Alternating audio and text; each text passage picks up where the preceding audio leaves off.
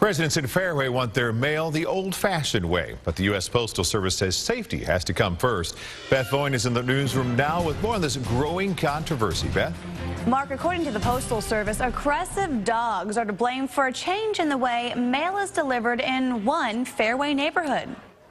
During the 25 years John St. Clair has lived in Fairway, his mail has always been delivered to his front step. That is, until Friday. There are a lot of big problems in the world, but, you know, this is something that speaks to the quality of life in our city that we choose to have. Residents were told this cluster box would replace front step delivery for 31 homes in the area.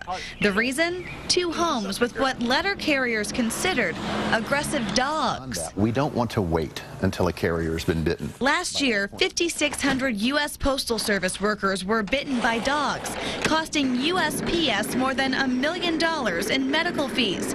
So they've made drastic changes for safety. It has become much more assertive in terms of remedying a situation when there's an ongoing uh, aggressive dog uh, concern in a particular neighborhood. St. Clair questions the fairness of the decision because without sidewalks, his neighbors face traffic danger. So there's not an easy way for people to uh, get back and forth. And until the cluster box is buried in the ground, he worries children could get hurt. Even with a light touch, this mailbox appears to be unstable, wobbly even. The cluster boxes are here to stay because with a single goal in mind, we have to deliver the mail. The Postal Service is standing behind safety.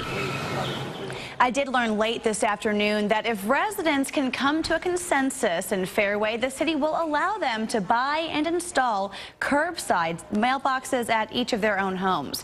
Now, cluster boxes aren't specific to Fairway. They were actually recently installed in Leawood, too, for the same reason. From the newsroom, Beth Vaughn, 41 Action News.